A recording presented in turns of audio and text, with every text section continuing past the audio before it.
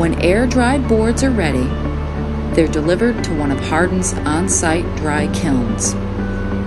Here, stacks of lumber are placed inside the kiln for controlled drying.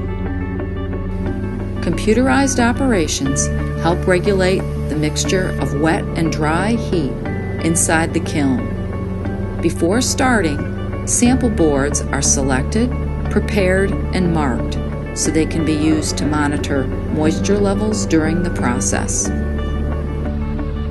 At scheduled intervals, samples are removed weighed, and checked.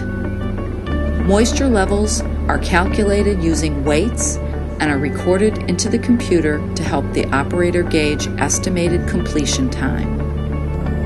Another tool, called a hygrometer, is used to obtain more precise moisture level values from the inside of the sample boards.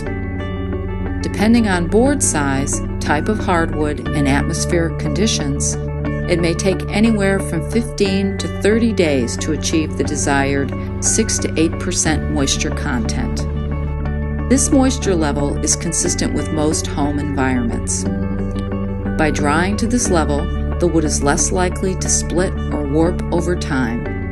The heat also protects the wood from any natural insect damage, fungal stain, or decomposition.